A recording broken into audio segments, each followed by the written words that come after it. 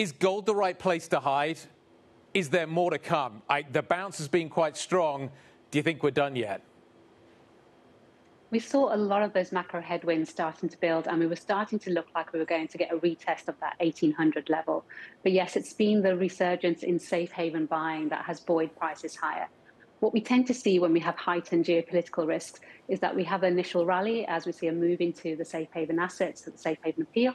Um, but thereafter, we tend to see that move tends to fade. Mm-hmm. We saw a very similar price reaction um, when um, Kuwait was invaded as well, and prices are currently trending at a very similar level um, to back then as well. I, am Suki, it's great to see you. I should point out that you're looking at the gold futures contract for December. Spot gold is still at 1990, so not at that 2000 yet, but you can definitely see it getting there. Uh, Suki, great to see you. If I look at the curve, are, are we actually going to get backwardated here? Like, there's been a real re-rating right at that front end uh, in, in, in the last like month or so. Is that a possibility? If we see the gold market uh, moving into a backwardated market, it tends to be short lived. Ultimately, it's still the drivers around the macro factors that tend to be key in terms of the backwardation for the curve. So we're looking at the interest rates here, and currently we should still continue to see a positive yield. So if we do see a backwardated curve, we think it's most likely going to be short lived. Suki, who do you think is actually buying? Who, who, who's driving this right now? This is a really interesting dynamic in the market at the moment. We're not seeing ETF uh, holders coming into the market. In fact, we've continued to see huge net redemptions, and that has continued over the past week, even when we've seen this huge move in prices upwards.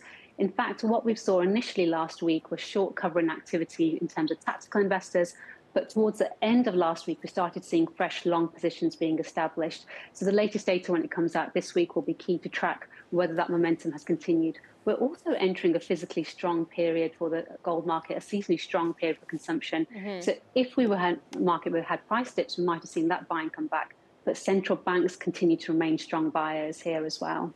Um, why do you think that ETF gold buyers have been selling and not buying in this environment? This is a really interesting dynamic when we look at the flows. One of the analysis that we like to look at is the price points where ETF holders establish those positions. And we're not in loss making territory at the moment. If prices dip below 1800, we get another 100 tons that becomes loss making, extra pressure to the downside.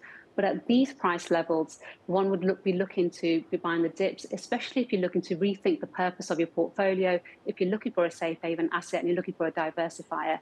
But instead, the appeal of higher interest rates elsewhere, equity market mm. performance elsewhere, has really weighed on the gold market. And as Guy mentioned, some of those key factors, the stronger dollar, high interest rates, have also capped gold's upside.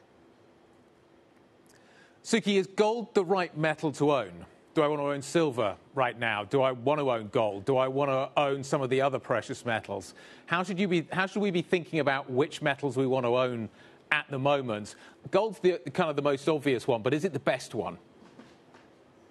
It depends on which period we're looking at here. In the short term, gold, we think that could be exposed to further upside risk, but we think that the geopolitical premium that's being priced in the moment is likely to be short lived. Mm-hmm. But beyond this, going into the back end of 2024, that's when we think that we're more likely to see upside risk for gold materializing, when we see confirmation that the Fed is likely to cut rates and interest rates around the world are likely to start to ease.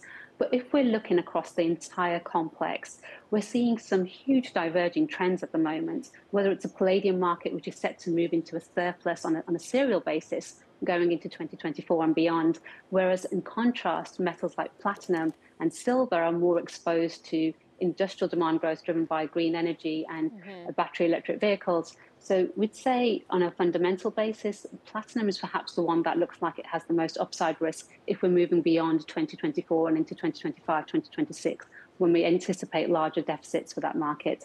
But in the short term, gold is perhaps the market we need to be keeping an eye on, especially with its safe haven appeal. Uh, Suki, we um, had the data on um, uh, what China was doing with treasuries, and I'm wondering, as they, as China needs to support its currency, et cetera, does gold get wrapped into that? Like, are they going to have to sell their gold holding to support their currency? I mean, the thesis 10 years ago for gold was that, hey, we're going to have a lot of central bank buying. Is that still the case?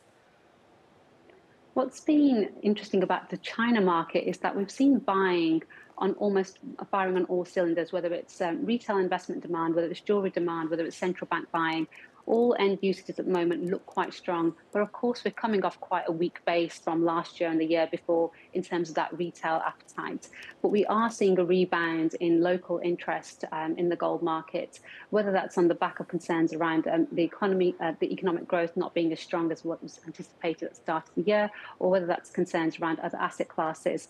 But the fact that we've seen China's imports remaining strong in excess of 100 tons mm. um, for the bulk of the past year suggests that that demand growth, that that demand appetite is still very much there.